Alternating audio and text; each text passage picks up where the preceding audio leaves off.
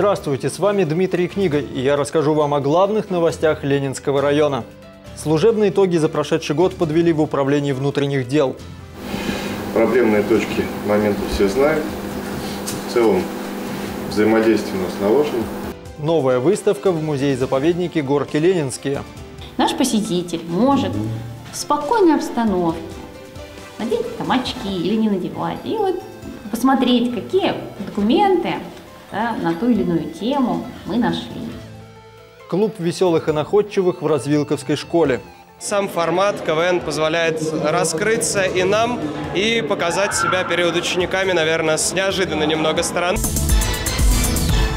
В управлении внутренних дел по Ленинскому району состоялось ежегодное итоговое расширенное оперативное совещание. Стражи порядка собрались, чтобы подвести служебные итоги года, отметить особо отличившихся, а также в торжественной обстановке поздравить некоторых своих коллег с повышением по службе.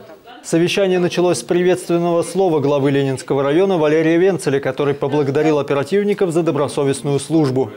На территории нашего муниципалитета э, по итогам 2018 года сложилась достаточно устойчивая динамика по сокращению правонарушений, за что еще раз хочу всех вас поблагодарить и э, выразить такую э, надежду о том, что в этом году, в 2019, мы также совместными усилиями, усилиями обеспечим правопорядок на территории нашего муниципалитета.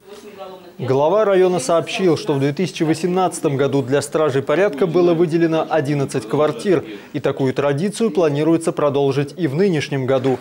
Затем состоялось вручение почетных грамот и памятных подарков особо отличившимся на службе сотрудникам.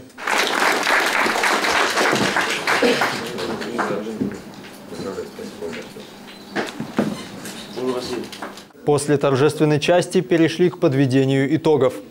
В отчетном периоде на территории обслуживания управления на 32,9% снизилось количество зарегистрированных сообщений о преступлениях. Их количество составило 1677. Снижение по области составило 4,8%. Количество совершенных преступлений предварительных следствий, по которым обязательно снизилось на 38,4%. Количество тяжких и особо тяжких преступлений снизилось на 25,6%. В целом, по сравнению с 2017 годом, количество преступлений в 2018 году снизилось почти по всем направлениям. Было совершено меньше краж, убийств, разбойных нападений и грабежей, преступлений экономической направленности, а также связанных с незаконным оборотом наркотических средств. В то же время возросло количество преступлений, связанных с нанесением телесных повреждений, а также совершенных приезжими несовершеннолетними, ранее судимыми и людьми в состоянии алкогольного опьянения – Выступающие также отметили невысокий процент раскрытия по сравнению с общеобластными показателями. Проблемные точки момента все знают. В целом взаимодействие у нас наложено, работа идет. Я думаю, что этот год должен пройти по показателям намного лучше, чем предыдущий.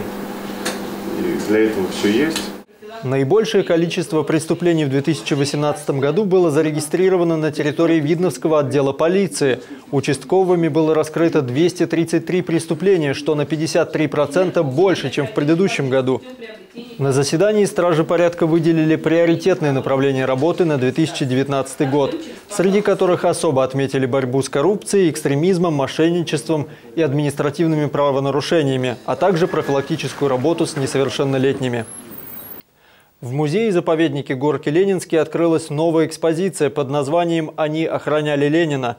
Уже из него понятно, что посвящена она становлению службы охраны руководства советского государства. Одной из первых на выставке побывала наша съемочная группа с уникальными документами и фотографиями, познакомился Максим Козлов. Шинель на крючке, стол, стул, телефонный аппарат. Примерно так выглядел сто лет назад типичный пост охраны в Кремле. Автор выставки Светлана Генералов рассказывает, с чего начиналась охрана первых лиц государства. У входа в приемную председательства наркома, то есть Владимира Ленина, поставили двухчасовых. Он для них написал инструкцию сам. Она достаточно примитивная, вот она здесь, да? Не, не пропускать никого, кроме народных комиссаров. Главным элементом оформления выставки, помимо фотографий часовых в полный рост, стали двери. Здесь они и символ защиты от посторонних глаз, и важная деталь обстановки большой, длинный коридор, кремлевский коридоры власти, да, и мы их можем условно назвать. А с другой стороны идут комнаты, залы заседаний, кабинеты, приемные. Представляете, там какое количество было дверей. Вот. И вот эти двери, они у нас там и построены. Это сейчас при слове «пост» невольно думаешь о социальных сетях, а больше ста лет назад это был последний рубеж защиты руководства страны. Это продолжение выставки. Э, мы всегда говорили, что это прихожая квартиры Ульяновых, но теперь мы говорим, что это пост 27, один из самых ответственных. Часть интересных документов не вошла в экспозицию, тем не менее с ними можно познакомиться самостоятельно и почувствовать себя настоящим историком, листая папки с пожелтевшими страницами. Точно такие же, в общем-то, используются и в Кремле, да, это старые скоросшиватели. И каждая папка, вот она как дело. Наш посетитель может в спокойной обстановке надеть там очки или не надевать, и вот посмотреть, какие документы да, на ту или иную тему мы нашли. Приказы, сметы, доклады, записки и рапорты. Через эти строчки открывается неофициальная бытовая и человеческая жизнь кремлевской охраны. На что жаловался комендант Кремля Павел Мальков? На свою тяжелую жизнь, как много на нем сконцентрировано задач, и как тяжело ему их выполнять, что лучше он на фронт пойдет, чем будет комендантом Кремля. Документы и фотографии были собраны в Государственном военном архиве и Российском государственном архиве политической истории, который стал соорганизатором выставки. С января в архивах я начала работать 2018 э, года. И вот только в ноябре, наверное, я эту работу закончила. Экспозиция будет работать в течение полугода в музее, кабинет и квартира Ленина в Кремле. Максим Козлов, Егор Хлябич, Сергей Ларин. Видное ТВ. КВН – аббревиатура, знакомая россиянам всех возрастов. Это юмористическое соревнование, в котором в свое время приняли участие миллионы студентов нашей страны. Впервые в Развилковской школе ребята старших классов смогли сразиться в веселых состязаниях со своими старшими наставниками – учителями. О том, кто победил, расскажет наш корреспондент Анастасия Воронина.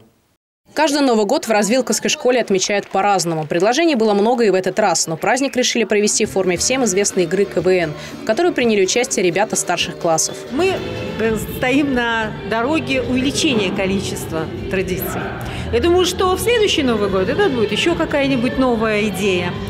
На самом деле сегодняшний праздник готовили исключительно дети. То есть все, что вы сегодня успели увидеть, это все от технической части до костюмов, а, ну, покрытая тайной э, история. Школьники очень ответственно подошли к подготовке праздника. Все свободное время от учебы они потратили на поиск необходимых костюмов, интересных идей и, конечно, на репетиции. Подготовка проходила несколькими путями, то есть э, идеи у нас были и свои, некоторые мы, так сказать, взаимодействовали у других ребят, которые, ну, вы знаете, вот профессиональный КВН, вот, э, репетиции были очень долгие, то есть каждый старался как только мог. А у Владислава Сысоева, как и у многих его одноклассников, не рассмотревших телевизионную передачу, в которой выступают участники клуба «Веселых и находчивых», есть свои кумиры. У них и стоит учиться, считает Влад. Ну, Харламов, прикольный парень, почему нет? Э, Батруха, нормально пойдет. Что еще? Ну, вот, в принципе, эти двое. Вот у них как раз-таки дуэт. Хорошие парни, вдохновение у них беру. Сценки креативно все делают. Сюрпризом для всех стало участие старших наставников, учителей, которые своими юмористическими сценками рассмешили весь зал, а их костюмы произвели фурор. Сам формат КВН позволяет раскрыться и нам, и показать себя перед учениками, наверное, с неожиданной немного стороны, что мы не только в роли учителей, там, строгих наставников можем выступать, источников знаний, но еще и веселиться умеем. С песнями, танцами и шутками время пролетело незаметно. Все конкурсы остались позади, но приятные сюрпризы на этом не закончились. Директор школы Ольга Семенова подготовила свой музыкальный подарок.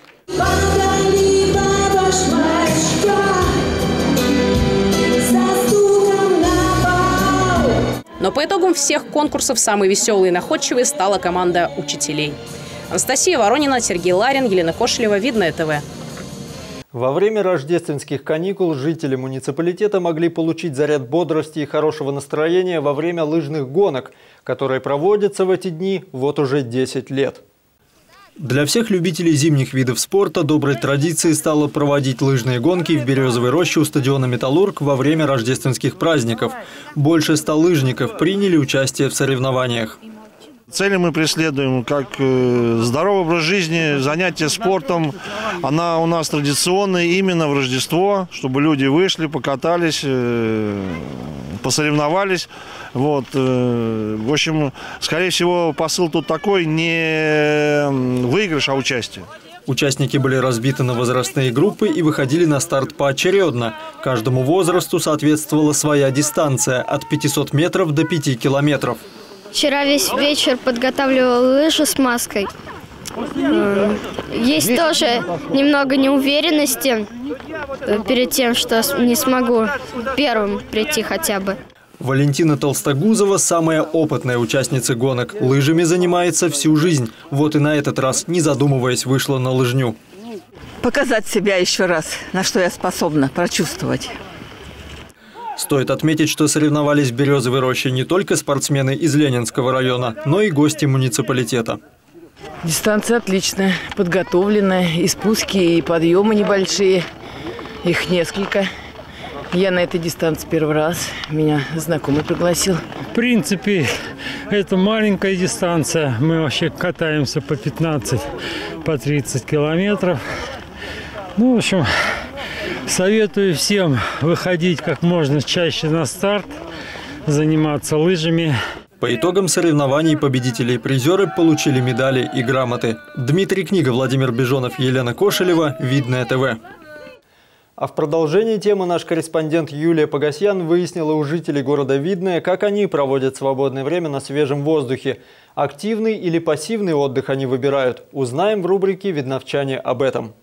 Кто-то катается на лыжах, и выбор это неплохой, ведь в эту зиму выпало достаточное количество снега. Также можно выбрать ледянки, тюбинги, санки. Но все же, какой досуг является наиболее популярным у жителей Ленинского района? И как они будут проводить грядущие выходные? Узнаем прямо сейчас гуляем на горках и на лыжах, и в лес ходим, и на тюбингах.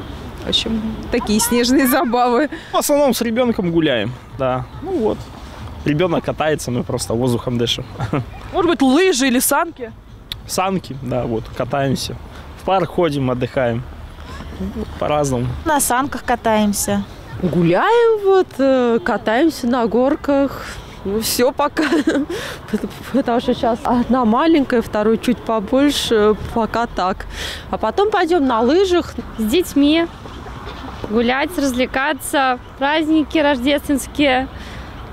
Ну вот, главное, чтобы детям было весело. На коньки катаемся. Я люблю кататься очень на коньках и катаюсь на лыжах с родителями. На даче. А что на даче делаете? Отдыхаем. Мы ходим в лес с собакой. У нас есть такой друг наш, семейный нордик. Прекрасно приводим время. Ну и вообще, как можно больше находиться стараемся на свежем воздухе. Ну, если не сильные морозы. Как анекдот есть, да? Там э, мальчик э, говорит отцу, больше я с тобой никогда не пойду на санках кататься. Давай вези, вези. Какой бы досуг вы ни выбрали, в Ленинском районе развлечение найдется на любой вкус. Главное, чтобы было настроение, а поднять нам его поможет грядущий праздник. Мы поздравляем всех с наступающим Старым Новым Годом и желаем хорошо провести выходные. И о погоде. В субботу ожидается небольшой снег, днем минус 9, ночью минус 12. Ветер юго-западный 4 метра в секунду. На сегодня это все. Желаю вам хороших выходных. До свидания.